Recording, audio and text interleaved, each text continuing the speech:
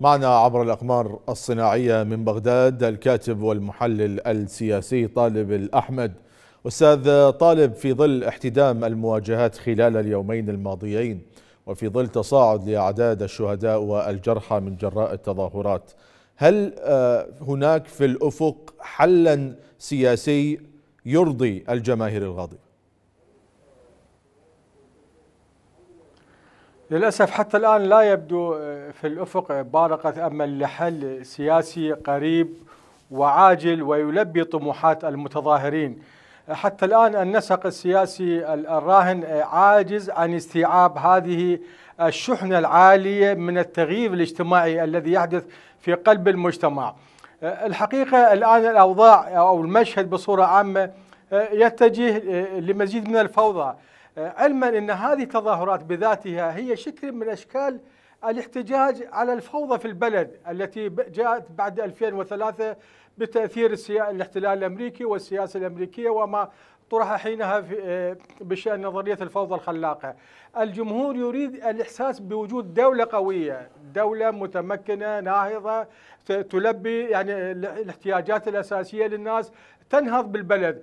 هذه أيضا في الطبقة السياسية هنالك من يشعر بهذه النسبة بما في ذلك في تقدير رئيس الوزراء عندما طرح رؤيته الإصلاحية لإعادة بناء الدولة وفق استراتيجية مرحلية، لكن هذا المشروع الكبير هذا المشروع النهضة والعملاق لا يمكن ان أن يبقى مثلا اسيرا لرؤية شخص مهما كان موقعه القيادي يعني لماذا لماذا أستاذ طارق؟ آه، لماذا هناك عجز؟ لماذا هناك عجز أو تباطؤ؟ يعني بمعنى آخر لماذا آه، لا تتوفر هناك آلية للتعامل مع الأحداث الطارئة في العراق؟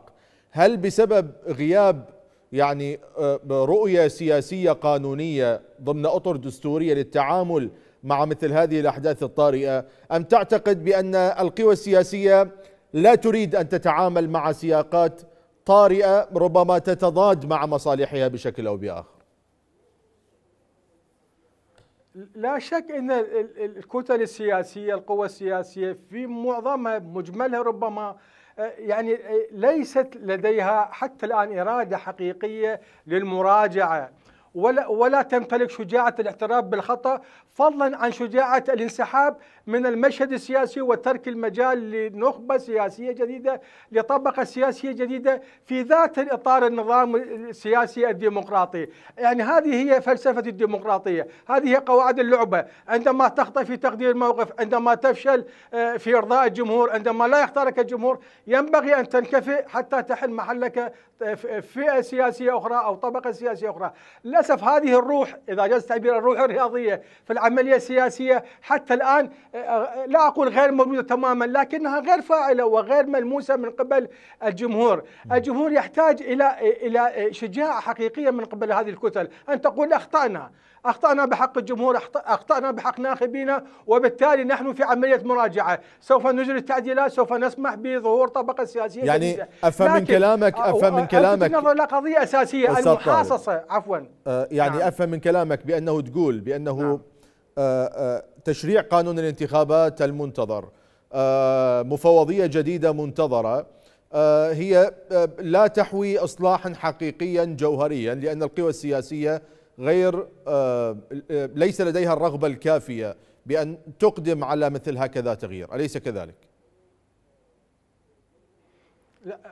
على المستوى النظري الاصلاحات موجودة على المستوى النظري. هذه التعديلات التي آه، آه، يعني طرحت أو اقترحت هي بذاتها أيضا ممكن أن تكفي لايجاد نوع من التغيير في العملية السياسية وبالتالي آه، القابلية لاستيعاب هذا الحراك الاجتماعي المتصاعد. المشكلة هي أنك لا يمكن أن تستمر في مناظرات وسجالات بينما مدينة تحترق.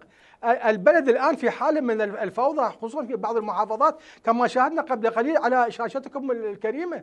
يعني الوضع لا يح يعني يلتهب يوما بعد آخر. سقوط ضحايا يوم بعد آخر. هذا يزيد تعقيد الأزمة يزيد احتقان الشارع السياسي وبالتالي لا قدر الله يأخذ البلد إلى المجهول. اذا الوقت يعني يعني نحن نهدر للأسف مزيدا من الوقت. يعني هذا يكفي هدر للوقت البرلمان الآن مثلا اليوم لم يجتمع.